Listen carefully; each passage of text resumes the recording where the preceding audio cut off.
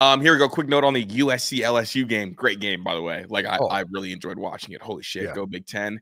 Yeah. Um, 63,000 fans were in attendance, and that is more than the Super Bowl they had there in Vegas. That's wild. Isn't That's a it? wild stat. Yes. That's one of those things again. Stats today that um that, that don't feel real, but it is an overreaction Monday. I'll be overreacting. Zach will be checking me the entire show, and you guys are probably overreacting in the chat now as well. I saw Rod Farva put, um, "Is it realistic that Tom Herman is the next Florida head coach?" I don't think so, but I don't know. I don't know what Yeah. I mean, I, I, I doubt it. He doesn't. And maybe knows? I'm wrong for assuming it, but he doesn't look healthy enough to be the Florida head coach to me, and I think that's what I'm like hanging my hat on. Yeah, it's you know how it is. It's, it's all about how he does this year, right? He's Yeah. got to he's got to have a lot of success. Obviously, clearly he had some success week one against Michigan State. Um, it'll be interesting to see how their uh, their year plays out. Yeah, that that's that's a fact. But it is overreaction Monday. Got LSU played USC, Big Ten versus SEC matchup. That game is truly the Spider-Man meme. I've been saying that for a long time. Teams that are almost in identical spots. Um, Miller Moss maybe look like the best quarterback in the Big Ten. We don't know Baller. yet. Phone breakdown will tell us. 27 for 36, 378 yards and a touchdown to Nussmeier's 29 for 38, 304, two touchdowns and a pick. USC pulls it off in what was a great game, dude. It was a great game. I mean, the over under was 66 points, I think, or 64 points. They ended mm-hmm. up scoring 47. Like, who would have thought that the two teams last year that had prolific offenses and atrocious defenses would play each other and you'd see solid defense? Now, what we don't know and won't know for several weeks was was that just inept offenses or was it really good defense, right? And and the film breakdown this week's going to help us identify it. But I thought Miller Moss was outstanding. Zachariah Branch is just so electric So dynamic. so dude. electric. Um, I worry about USC and their inability to run the ball. Um, But again, I don't know if that was I, I- Harold Perkins is a fucking monster. Be- one of the best, it- one of the best defensive players in the country. He was a beast. And but a 10-10 game at half. Who had their money on a 10 a 10-10 game at half? I would have said mid first quarter it would be 10 to 10. Just I thought that people were going to score every time down the field, and, and the way that LSU opened up, I thought they were going to. I thought that's what it was going to be. yeah. Um, but dude, I really, I really like Miller Moss, man. Like he's got his frame looks just like Stetson Bennett's. He's got some gamer is gamer in him. Yeah. Uh, made that, made that, made those throws late, big play late. But I'm not sure if there's anybody else in the country that is more dangerous with the ball in his hands than Zachariah Branch. I'm not Yeah, I sure. mean, I mean, he he really did. I mean, he obviously didn't have uh, like a no, didn't have a huge game, but like when he caught the ball, I mean, honestly, it was the kick returns. The kick Yeah, return. It was like, the oh, kick returns, and I, he, I mean he he had four catches for 56 yards. I, th- I think he had three of them in the first quarter first Yeah. half.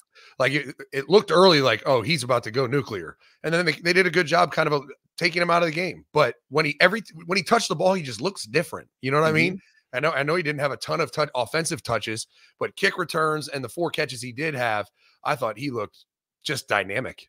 just really really explosive. Um thoughts on both defenses? Were these good defenses or inept offenses, or do, is it, is it easy to tell at this point? And how surprised are you that USC got the win? Um, I I'm surprised. I thought LSU was going to win the game, but um, it, I can't sit here and tout great defense when you had eight- what 871 yards in the game combined. I mean, It was like true. It was true. Ben not break. Yeah, Ben not break. They didn't allow him to score a lot, but they were they were moving the ball. I I am worried about USC's rush attack. I mean, run, running for 72 yards in a game, a game where you you had 450 yards.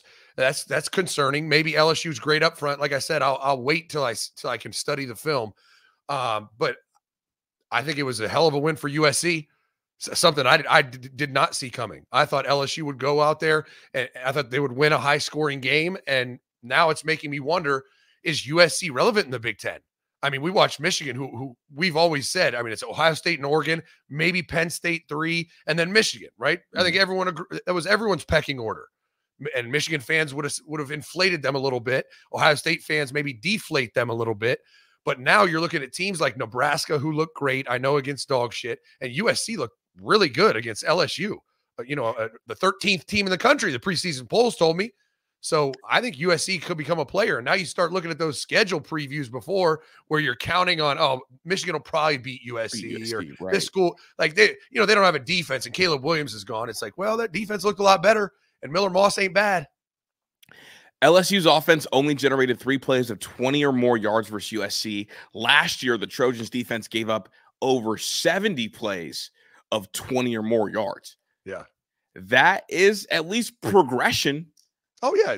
I mean, it's listen, it's all about okay, have they improved? Well, we have one piece of work, one piece of artwork to look at, and it's much improved. That doesn't mean you know, as it plays out, you find out reality, right? Maybe LSU stinks on offense, mm-hmm. and we'll find that out by, by about week five or six. Like, damn, they're really not good on offense. They're really missing Jayden Daniels. But I do want right, to. I, I, Pat has this video. I want to play a Brian Kelly and just get your thoughts on it. Yeah, let's, let's watch it. Disappointing when those guys perform and you, and you don't get a victory. Hell yes. Hell yes. I mean, and, and that's what I said to the team. I said, we had some guys played their butts off tonight, and, and we're sitting here again. We're sitting here again talking about the same things about not finishing when you have an opponent in a position to put them away. But what we're doing on the sideline is feeling like the game's over. And I'm so angry about it that I got to do something about it. I'm not doing a good enough job as a coach. And I got to coach him better because it's unacceptable for us not to have found a way to win this football game. It's ridiculous. And it's crazy. Yeah, I mean, he's he's not wrong. And I, I like that he owned it. I mean, ultimately, finishing opponents fourth quarter. I mean, they got what they got scored out, outscored at 14 to 3 in the fourth quarter. 14 3. Not finishing games in the fourth quarter is a direct reflection on how hard training camp was and how hard your strength room is. That's what it is. Yeah. Like you need to be trained to when you have your foot on somebody's throat, start the fourth quarter. That's why people do that stupid shit and put their fours up. Like now's the time where that winter weight room comes into play, where how hard training camp comes into play, and you stomp on their fucking throat. And if you don't do that consistently, that's as much as you want to say it's on the players, that's on your program. That's an indictment on Brian Kelly. His team can't finish. That's on him. I know players have to execute, but ultimately your whole program needs to be built and and developed and designed in the culture to when you get to that fourth quarter, that's when you throw haymakers and you try to knock them the fuck out. Like you've been grinding on them for 3 quarters. It's time to TKO, right? Put put their lights out. And they can't seem to do it. And it's been that way for really, this is year three. They just can't finish at the end of those games. The way Harbaugh could never win that bowl game until he did end up winning the bowl game is kind of what Brian Kelly's going through right now at, at LSU. This is now his third straight loss to open the season while at LSU. Obviously, 22 and 23 losses to Florida State.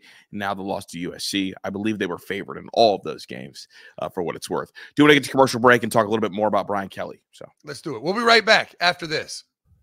All right, Menace Army, you know we love to add a little excitement to our sports experience. And that's why our sponsor, Prize Picks, is back to get you in the game right? It's America's number one daily fantasy sports app with over 5 million active users. All you have to do is pick more or less on two to six player stat projections and watch the winnings roll in. And in the month, of, the whole month of September, they're giving you a gift right here. One Caleb Williams passing yard gets you one win. So if you want to do two player stat projections, there's one. Pick another one, and it's a cat. It, it, it's a winner. Um, if you Prize Picks is the only real money daily fantasy uh, platform with an injury insurance policy so that your lineup stays in play even if one of the, your players gets injured. If your player leaves the first half and doesn't return, Prize Picks keeps your your your combination alive. I've loved it. Pat is huge into this. Justine and I love using this every weekend when we go watch sports, specifically football. Um, would throw some something like Tyreek Hill for more than 90 receiving yards and Dak Prescott for less than 263 passing yards and cash that thing in. All you have to do is download the Prize Picks app today and use code Menace, and you get $50 instantly when you play $5. That's code Menace on Prize Picks to get $50 instantly when you play $5. You don't even need to win to receive the $50 bonus. It's guaranteed. Prize Picks, run your game. Prize Picks is the best. It's my favorite. I know Pat's a big prize pick junkie prize pick them. I love betting, so I'll, I'll, I'll, get into my some of my bets that I hit over the weekend here a little bit later. I want to stay on Brian Kelly here for a, a quick sec.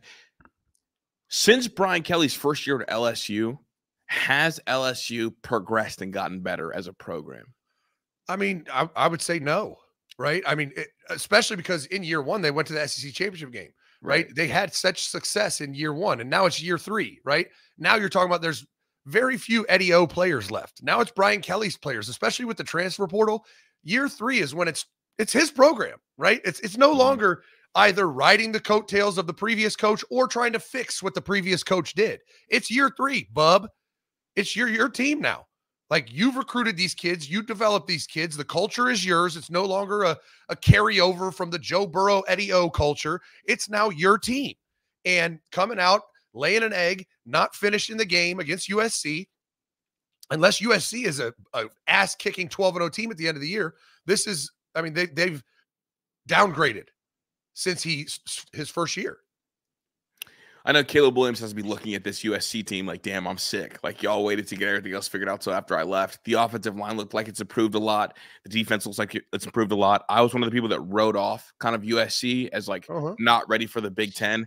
Looking at their starting O line, you got six seven, three twenty left tackle, six five, three twenty left guard, Six five three ten center, six four three thirty five right guard, six five three fifteen. They're big all the way across up front. Across that's a true, that's a true Big Ten offensive line, Zach. It is. I mean, they aver- they're they're averaging six four, six five, in between six four and six five, three twenty, like yeah. across the board.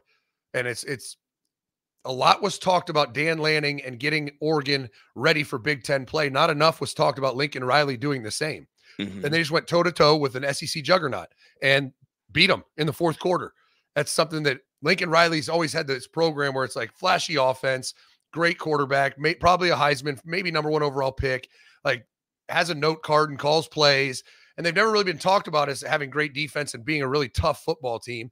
But that's that's the team we saw last night on Sunday night. Yeah. And don't get it twisted. Like that's a really good LSU pass rush.